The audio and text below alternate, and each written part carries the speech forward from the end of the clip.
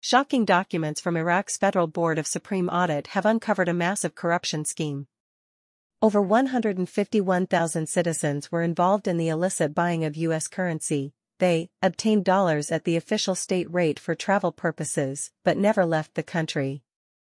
The black market refers to them as ghost travelers. We are thinking the Iraqis sold the dollars for more money than they invested.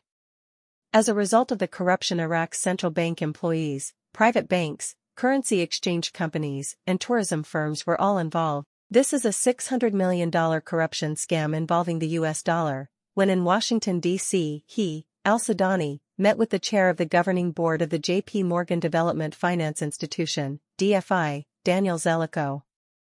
Prime Minister Al Sudani received Mr. Jamie Dimon, the CEO of J.P. Morgan Chase, and his accompanying delegation on Wednesday during his visit. In Davos, Iraqi Prime Minister Al Sudani with Mr. Khalid Hobballah, the regional CEO of JP Morgan Chase for the Middle East and North Africa. Al-Sudani met with the Iraqi community in Washington, D.C., and other American states on the sidelines of his official visit to the United States.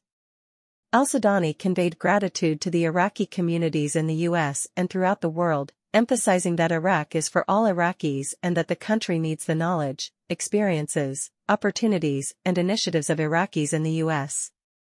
The Prime Minister indicated the Iraqi government is working on establishing a department for expatriate affairs to be able to communicate effectively with the Iraqi community around the world. On April 15 President Joe Biden will hold Prime Minister al-Sudani of Iraq at the White House.